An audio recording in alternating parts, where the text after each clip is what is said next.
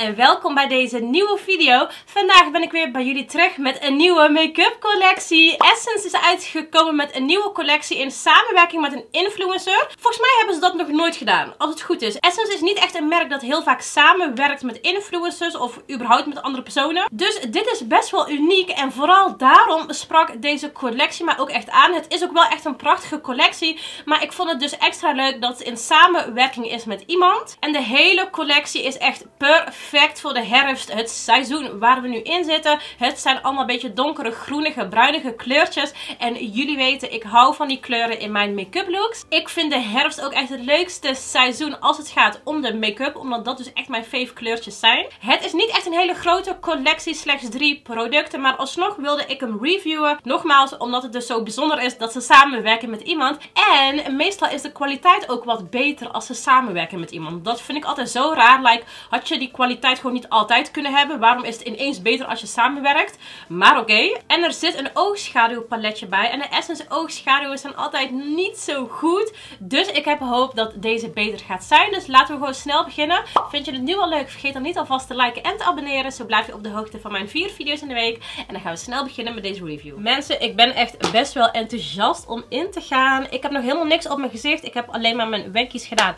En that's it. We hebben een oogschaduwpalet, wenkbrauwgel en oogschaduwprimer. Dus echt een mini mini collectie. Maar dat geeft me wel weer genoeg tijd om lekker uitgebreid in te gaan op elk product. We gaan beginnen met het eerste wat ik als eerste ga gebruiken. En dat is de wenkbrauwgel. Dit is de Essence Lamination Style Brow Fixing Gel bij Merve. De influencer met wie ze dus samenwerken is Merve. Ze is Duits. En voor de mensen die het niet weten, Essence zit ook in Duitsland. En aan haar naam te zien denk ik dat ze Turks is. En wat ik ook zo bijzonder vind, ik uh, kende haar echt helemaal niet. Maar ik heb haar opgezocht op Instagram. En ze heeft maar echt tussen twee aanhalingstekens, 80.000 followers. En ik weet, dat is echt een heleboel, superveel. Maar de meeste uh, merken werken echt alleen maar samen met echt huge influencers. En dan praat ik echt die echt tonnen hebben, at least. Echt minimaal tonnen. En meestal pas bij de miljoenen. Dus ik vind het extra leuk dat Essence is gegaan voor iemand die misschien nog niet per se zo bekend is bij echt het grote publiek. Maar ze ziet er wel echt prachtig uit. Nou, laten we gewoon beginnen. Ik ga dus beginnen met de brow gel. Dit gaat ervoor zorgen dat je wenkbrauwhaartjes op hun plek blijven zitten. Maar dat de haartjes nog wel gewoon flexibel blijven. Het is gewoon een transparante gel. Ik vind de verpakkingen allemaal zo leuk. Zo mooi groen en zo. Echt heel herfstachtig. Ik heb mijn wenkjes al gedaan. Maar ik heb nog geen wenkbrauwgel aangebracht. Kijk even hoe klein dit is. Dat vind ik altijd heel fijn. Ik haat het altijd als het zo super groot is. Want je wenkbrauwen zijn ook gewoon smal. Oké, laat ik ingaan. Ik borstel mijn haartjes echt omhoog zo. Om te zien of ze echt zo omhoog blijven staan. Oké, het voelt goed aan. De meeste betaalbare wenkbrauwgels voelen heel waterig aan. En dat is nu niet het geval. Het voelt echt aan als gewoon echt een gel. Ik vind het ook echt belangrijk dat het mijn wenkbrauwproduct eronder niet verstoort. En dat lijkt het ook niet echt te doen. Kijk nou het verschil met hier en hier. Mijn wenkie lijkt iets voller en de haartjes staan zo mooi omhoog. Oké, ik denk dat ik dit wel fijn vind. Wow, het voelt echt aan alsof het echt heel goed plakt. De reden dat ik hiermee ben begonnen is zodat ik het gewoon de hele video op kan laten. En dan kunnen we aan het einde zien of mijn haartjes nog zo mooi omhoog staan. Ik vind het alleen niet mooi als mijn haartjes zo te lang zijn. Dus wat ik dan altijd doe is met zo'n wattenstaafje ga ik zo langs de rand. En dan gaan ze daar weer zo een beetje omlaag. Kijk. Oké, nou dit voelt echt heel goed aan. Ik denk dat ik hier best wel enthousiast over ga zijn. Nu gaan we in met het volgende, het hoofdproduct. En dat is het paletje. Dit is het Essence by Merve oogschaduw palet. De buitenkant is echt prachtig. Weer zo heel mooi groen. En de oogschaduwkleurtjes zijn ook echt heel mooi. Je krijgt ook een grote spiegel. Je krijgt 18 kleurtjes. En je hebt matte en glanzende finishes. En de hele collectie is ook vegan en cruelty free. Zoals Essence altijd is. Dit ziet er echt prachtig uit. Je ziet dat hier een beetje de bruine kleuren zijn. En dan zijn hier de groene. Ik ga vandaag vooral ook in met de groene. Het doet me een beetje denken aan een Huda Beauty paletje. Door de kleurtjes hier zo.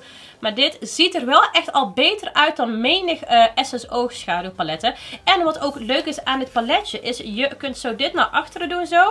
En met een magneet klikt het zo vast. En je kunt hem dan gewoon zo neerzetten. Dat is toch super leuk. Dat is wel echt iets extra's. Wat ik niet echt heel vaak zie. Ik weet niet of men dit per se zo zou gebruiken. Maar ik vind het wel heel leuk voor als je dat graag zou willen. Dus dit vind ik wel iets heel leuk wat een beetje extra is. En wat een beetje anders maakt. Ik ga ook gelijk in met het laatste product. Dit is de Essence by Merve Super Coverage Eyeshadow Base. Dit is dus een oogschaduw basis. Die doe je onder je oogschaduw. En dan worden de kleuren wat feller en blijft de oogschaduw ook wat beter zitten. Als je mij volgt dan weet je dat ik geen enkele look maak zonder oogschaduw primer. Dus hier ben ik ook weer heel benieuwd naar. Er staat ook hierop perfect voor cut crease looks. Nou, dat vind ik wel echt heel grappig. Dus je zou hiermee ook een cut crease kunnen maken. Dat ga ik vandaag proberen, want ik ga ook echt een volledige cut crease maken. Laat ik even kijken wat voor kleur dit is. Oké, het lijkt een beetje zo op een concealer en het moet dus echt een volledige dekking hebben. En dat heeft hij volgens mij ook wel. Oké, ik denk dat ik hier ook wel enthousiast over ben. Oh, hij valt. Oké, nou laten we gewoon gaan beginnen met de look. Oké jongens, we zijn ingezoomd. Laten we beginnen. Ik heb niet heel veel goede betaalbare herfstpaletjes, dus dat maakt me wel enthousiast. Ik begin met de oogschaduw primer, maar ik denk dat ik hier iets te veel heb aangebracht. Het spoot er gewoon uit. En dan zo lekker indeppen met een spons over mijn hele ooglid. Echt helemaal tot aan mijn wenkbrauw gewoon. Overal waar oogschaduw kan komen, breng ik de oogschaduw primer aan. Oh wauw, hij heeft echt veel dekking. Het doet me echt een beetje denken aan de P. Louise base. Die heeft ook echt zoveel dekking. Ik vind dat altijd wel belangrijk. Want ik wil niet dat het hier allemaal zo donker blijft en zo. Onder mijn oogschaduw. Altijd als je iets te veel aanbrengt van wat voor make-up product ook. Als het liquid is. Ga dan gewoon in met een spons. Want die zuigt het dan ook een beetje zo op. En dan is het niet meer te veel. Dus dat heb ik nou hier ook gedaan. Oké, dit ziet er nou allemaal heel raar uit. Maar straks met de oogschaduw is het heel mooi, denk ik. Dan ga ik beginnen met de donkergroene kleur hier beneden. De kleuren hebben helaas geen naam. En dan ga ik hiermee in mijn uh, crease. En dan maak ik de lijn van de cut crease, zeg maar.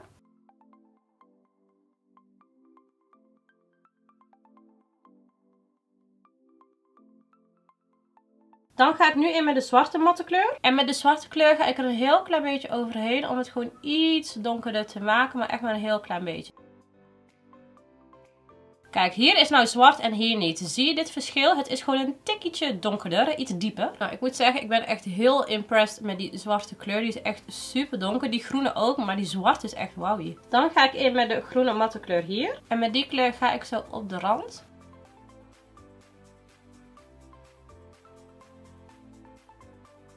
Dan pak ik weer die donkerste groene kleur van het begin. En dan ga ik hier een klein beetje inblenden met die iets lichtere groene kleur die ik net heb aangebracht. Ik maak echt gewoon een heel klein beetje.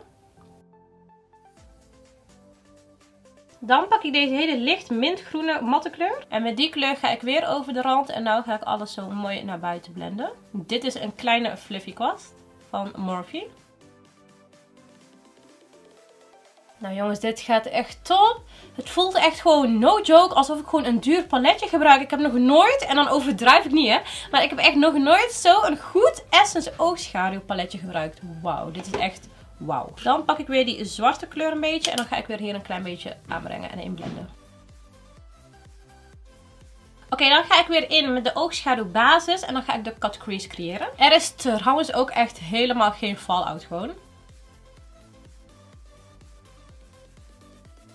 Ik ga nu in met de glanzende kleur hier. Die ziet er heel mooi uit. Ik heb een klein beetje opgepakt met mijn vinger. Echt heel mooi groen. En dit breng ik aan over mijn hele ooglid. Wat ik nu doe is dat ik het zo hier aanbreng. Maar niet helemaal tot aan de rand van de cut crease. Ik blijf er een beetje onder. En ik laat hier zo een soort van randje zo bloot. Want daar ga ik een andere kleur doen. Je moet hem wel echt aanbrengen met je vinger. Met de kwast pakt hij niet echt heel goed op. Dan ga ik in met de hele lichte groene glanzende kleur hier in de hoek. En die kleur wil ik gaan aanbrengen hier op die rand die ik open heb gelaten helemaal.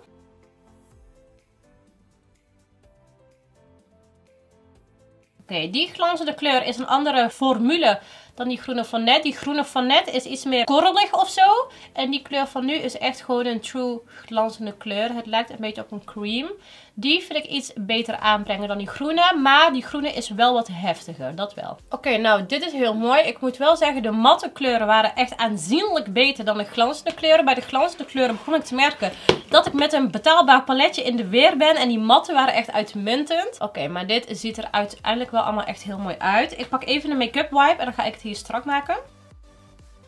Dan ga ik weer in met deze zwarte matte kleur. En met die kleur ga ik een wing creëren.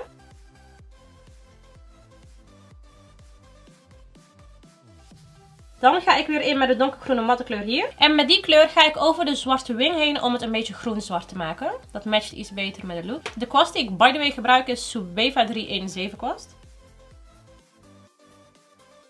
Oké jongens, ik heb ook eventjes mijn gehele gezichtsmake-up gedaan. Want we zijn nou hier klaar. Kijk hoe mooi deze ooglook is geworden. Je zou echt denken dat ik een super duur paletje heb gebruikt. Nou ga ik oogschaduw aanbrengen op de onderste wimperrand. Maar eerst ga ik in met een zwart oogpot een loodje van Pixie voor in mijn waterlijn.